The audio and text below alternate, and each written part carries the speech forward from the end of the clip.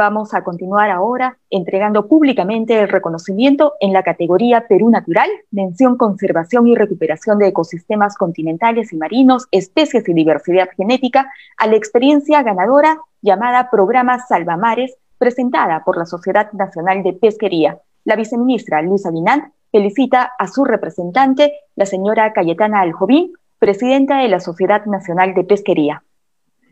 Muy buenos días, Cayetana. Felicitaciones por este premio. En realidad, la protección, el conocimiento y el uso sustentable de los recursos hidrobiológicos y de los ecosistemas marinos es una prioridad eh, para esta gestión y estamos eh, realmente en avances también en conversaciones y en articulaciones con el Ministerio de la Producción para que estos ecosistemas sean de la mayor prioridad. Por eso es que con tanto gusto eh, entrego este premio por este programa de Salva Mares y sus tripulantes que a bordo de las embarcaciones pesqueras ha permitido la liberación de 5.111 depredadores superiores, tales como aves, tortugas, lobos marinos, ballenas y delfines, entre otros, convirtiendo esta práctica en merecedora del premio. Muchísimas felicitaciones.